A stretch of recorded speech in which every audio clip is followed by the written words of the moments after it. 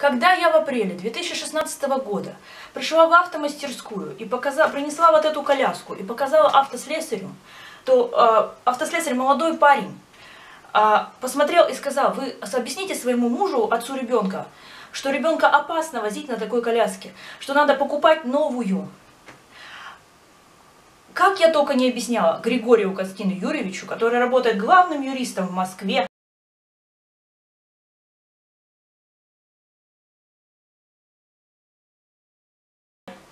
Как я ему только не объясняла, фото, видео с 2013 года.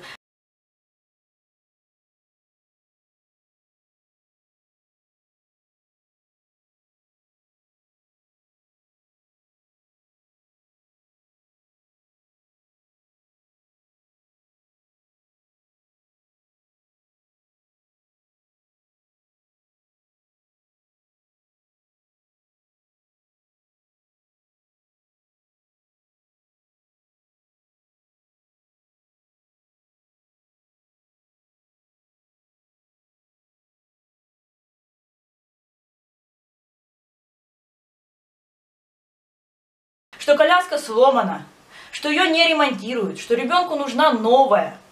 Да мне легче научить ребенка разговаривать, чем ему объяснять. У меня особый ребенок с поражением головного мозга. Рома, слог ма. Рома, скажи ма.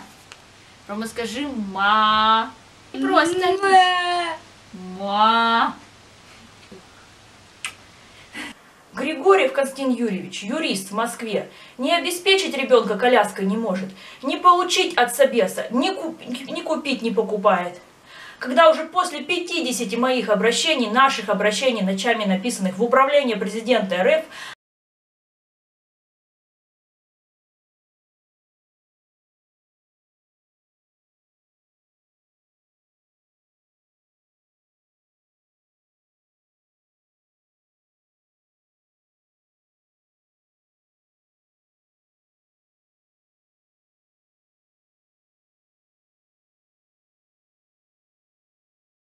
Они все отписывались, а вы не обращались за коляской, а вы не обращались за коляской. Вот, наконец-то, департамент правительства Москвы Самонин, 86 -го года рождения, начальник управления, подтвердил, что ребенку положено две коляски, комнатная и уличная.